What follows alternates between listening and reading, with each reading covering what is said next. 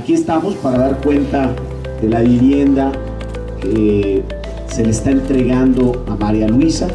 Pasamos por aquí cuando era campaña y está en condiciones este, muy, muy ínfimas, prácticamente de adobe, sin eh, construcción estable. Me da mucho gusto que María Luisa hoy sea beneficiaria de este programa, que se le está entregando prácticamente una casa nueva.